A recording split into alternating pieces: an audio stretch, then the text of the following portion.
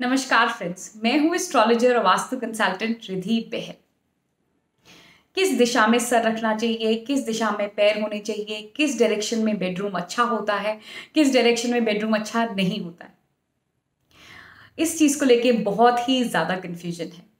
तो आज जो है इस वीडियो में आप, मैं आपके साथ यही डिस्कस करूँगी और जितने भी आपके कन्फ्यूज़न हैं, जो भी डाउट्स हैं, उनको दूर करने की कोशिश करूँगी।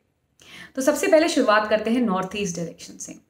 देखिए नॉर्थ ईस्ट जो डायरेक्शन है वो वाटर एलिमेंट है जल तत्व है। तो यदि आपका बेडरूम नॉर्थ ईस्ट डायरेक्शन में होता है तो आपकी बॉडी में वाटर रिटेंशन की प्रॉब्लम होती है। एज अ रिज़ल्ट वेट बढ़ सकता है। नॉर्थ ईस्ट में जिन लोगों का बेडरूम है देखा गया है कि वहाँ पे उनको जो है कफ रिलेटेड प्रॉब्लम जो है वो ज़्यादा रही है। ऑल्सो uh, जो है uh, क्योंकि जल तत्व है जल जो है वो स्टेबल नहीं होता है। जब आप सोते हैं तो आप स्टेबिलिटी चाहते हैं, आप चाहते हैं कि आप आराम से स्टेबल रह के सोएँ। तो जो लोग नॉर्थ ईस्ट में जिनका बेडरूम है, उन्होंने ये भी कंप्लेन करी है कि नॉर्थ ईस्ट में सोने से नींद जो है वो सही नहीं आई है। रात में नींद खुल गई है या इम्प्रॉपर सी नींद रही है। वो इसीलिए क्योंकि वाटर एलिमेंट है। तो इसीलिए जो है नॉर्थ ईस्ट में जो है बेडरूम नहीं होना चाहिए। नॉर्थ ईस्ट जो है स्टडी रूम के लिए सही है। नॉर्थ ईस्ट में स्टोर भी जो है वो मना करते हैं। नॉर्थ ईस्ट के बाद जोन आता है आपका ईस्ट। ईस्ट जो है वो बहुत अच्छा जोन है क्योंकि वो जोन है राइजिंग सन का, सूर्य उगता है। सनलाइट में जो है बहुत ही हेल्थ बेनिफिट्स हैं। तो यदि आपका बेडरूम ईस्ट में हो तो बहुत अच्छा है और ईस्ट के बेडरूम में कोशिश करें कि आप खिड़की सुबह के समय खास करके ज़रूर खोलें और जो सनलाइट है उसको अपने रूम में ज़रूर आने दें।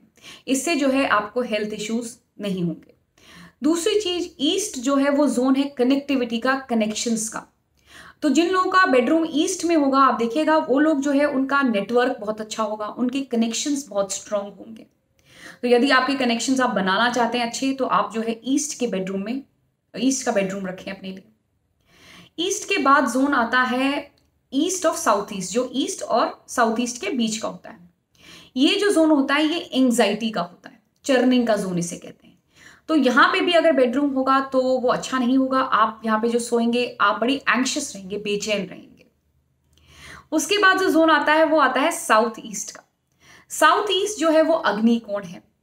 तो यदि आपका साउथ ईस्ट में बेडरूम है तो आपको गुस्सा जल्दी आएगा, आप इरिटेट ज़्यादा होंगे।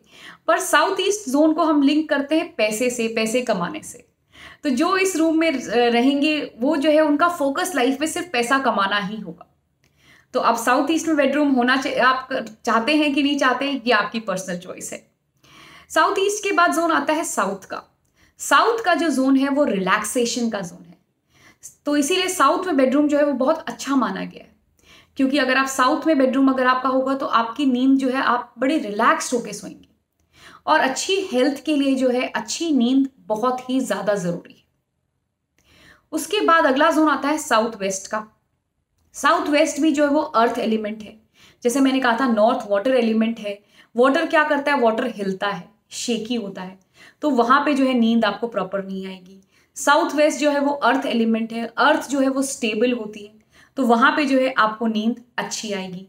तो साउथ वेस्ट जो है, वहाँ पे बेडरूम अच्छा होता है। ऑल्सो साउथ वेस्ट जो है वो रिलेशनशिप का जोन है। तो साउथ वेस्ट में अगर आपका बेडरूम होगा तो आपके रिलेशंस जो हैं, आपके घर वालों से, फ्रेंड्स से, आपस में जो कपल है, जो उस रूम में है, उनके जो है रिलेशन वो अच्छे होंगे।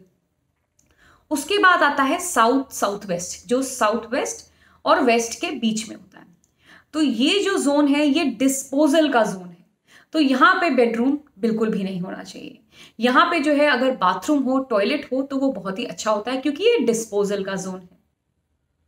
इसके बाद आता है आपका वेस्ट। वेस्ट जो है, वो प्रॉफिट का जोन है, प्रॉफिटेबिलिटी का जोन है। तो यहाँ पे अगर बेडरूम हो तो बहुत अच्छा है। खास करके बिजनेसमैन के लिए कहा जाता है कि उनका बेडरूम जो है वो वेस्ट में होना चाहिए, क्योंकि बिज़नेस का मेन ऑब्जेक्टिव क्या है? प्रॉफिट कमाना। वेस्ट के बाद आपका जोन आता है वेस्ट ऑफ़ नॉर्थ वेस्ट, जो वेस्ट और नॉर्थ वेस्ट के बीच में। तो ये भी जोन जो है, बहुत अच्छा जोन नहीं है। इसको शास्त्रों में जो है रोदन ग्रह कहा गया है। मतलब ऐसी जगह जहाँ पे आप बैठ के शोक मनाएँ या जहाँ पे बैठ के आप रोएँ। तो यदि ऐसी जगह पे आपका बेडरूम होगा तो आप देखेंगे आप जो है हमेशा दुखी रहेंगे। आप जो है छोटी छोटी बात पे रोने लगेंगे। तो इसलिए जो है इस जगह पे भी बेडरूम नहीं होना चाहिए। उसके बाद आता है नॉर्थ वेस्ट नॉर्थ वेस्ट जो है वो आ, क्या कहते हैं आपकी again it's a good zone क्योंकि वो अर्थ एलिमेंट है स्टेबल जोन है। तो नॉर्थ वेस्ट में जो है बेडरूम जो है वो अच्छा होता है। नॉर्थ वेस्ट और नॉर्थ वेस्ट के बाद जो इमीडिएट जोन आता है, वो आता है नॉर्थ ऑफ़ नॉर्थ वेस्ट वो जो जोन है, वो जोन है अट्रैक्शन का। तो ये जोन जो है, हम स्पेशली कहते हैं, जो न्यूली मैरिड कपल हैं, उनके लिए बहुत अच्छा है, क्योंकि अगर वो इस जोन में रहेंगे तो अट्रैक्शन जो है बना रहेगा। या यदि अगर आपके फैमिली में कोई ऐसा कपल है जिसमें आपको लग रहा है जिनमें इतना मन मुटाव ज़्यादा मन मुटाव हो रहा है या अट्रैक्शन नहीं है आप कपल में तो उनको जो है आप नॉर्थ ऑफ़ नॉर्थ वेस्ट के जोन में बेडरूम में शिफ्ट कर दीजिए। तो इससे जो है इनका उनका जो अट्रैक्शन है आपस में वो बढ़ेगा। तो आई एम श्योर अब जो है आपको थोड़ी क्लैरिटी आ गई होगी कि किस जोन में बेडरूम जो है वो अच्छा होता है। और किस जोन में बेडरूम जो है वो इतना अच्छा नहीं होता है? और किस जोन के क्या कैरेक्टरिस्टिक्स हैं? तो अगर उस जोन में आपका बेडरूम होगा तो उस जोन के कैरेक्टरिस्टिक्स जो है वो आप पे उसका असर देखने को मिलेगा। Friends do subscribe to my YouTube channel and take care